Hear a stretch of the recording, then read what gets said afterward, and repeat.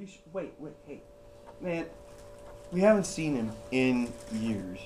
Are you sure you want to do this? Yeah, it's gotta happen. Oh. Well, There he is. Uh, as good as expected. I mean, you know, you haven't been there for I don't know how long. Okay. Okay, so um. I'll see you guys. How you been?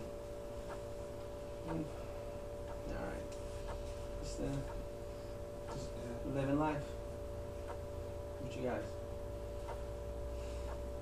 Well, he's got a girlfriend. Finally, Good for you. Alright. but What's it's your name? been a while. Brittany. Nice. Cute name. What's been going on with you? How's your mother?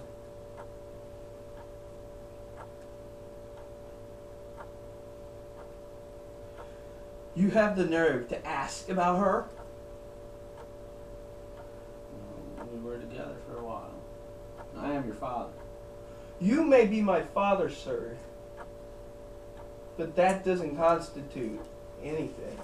Real, true fatherhood is where the man is there with his kids.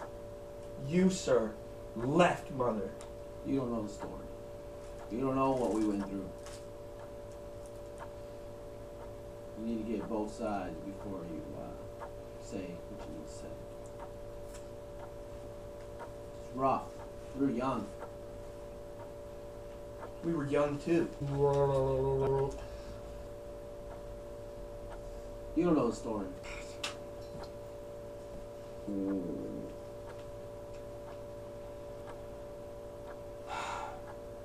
Dad.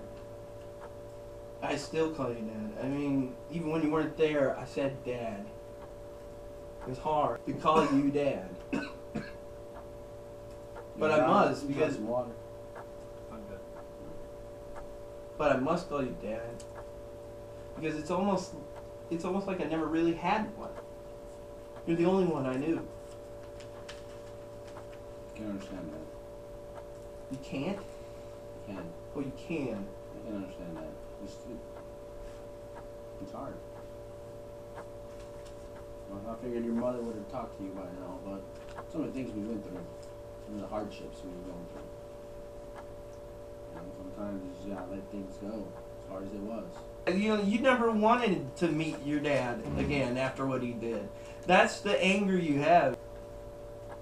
That's the kind of energy you need. That's what we want in this. You're the quiet one in the background. All of a sudden, you explode out of that shroud. Can you do it? Liar. What do you mean? You know what I mean. What did I lie about? You, you know.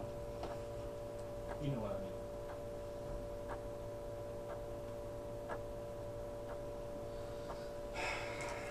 mean. You finally said something. This is what we were waiting for. I was tired of talking by myself. Brother, what?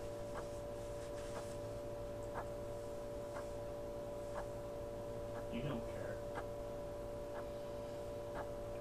I really think it's a bad idea, guys.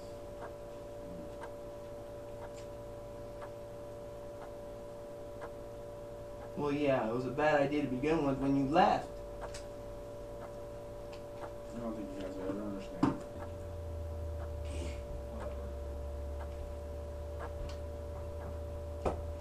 You know, my little brother here. My little brother. He grew up without a dad. I grew up without a dad. I mean, I'm fine with that. Because I started to get older. And put that down! That is not important right now. What's important is that you have two kids who you were never there for. I understand you got problems. We all do. The whole friggin' dude our world has problems. But you run- couldn't handle. You guys look like you grew up pretty good without me, so. You don't run away from the problems is the thing. You got kids. You gotta you gotta handle like You got you gotta hang out with them. You gotta be with them. Well, that's why I say maybe you should have uh, talked to your mother. Because you're right. You don't run away from your problems. And I want you guys to let you guys know it wasn't me that ran away. You should really talk to your mother.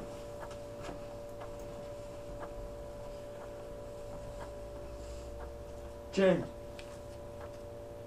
James, he left. Look at me. Look at me. Get the hood off, man. It's time to come out of the shell. Are you still in your turtle shell? Like the teacher had said when you get angry, you just go into your turtle shell. Are You still in there? It's time to have an opinion. Okay? Sit up straight, man. Our dad just left again. And all he had to say was that we look pretty good. But maybe he's right. Maybe we should ask our mother about this whole situation. Maybe that's the only thing that he was good for was just ditching everyone. So Maybe, but maybe there's something here that we don't know about. James, let's go ask our mother what really, truly happened. What really, truly. Let's. Maybe we'll understand everything when we see her again.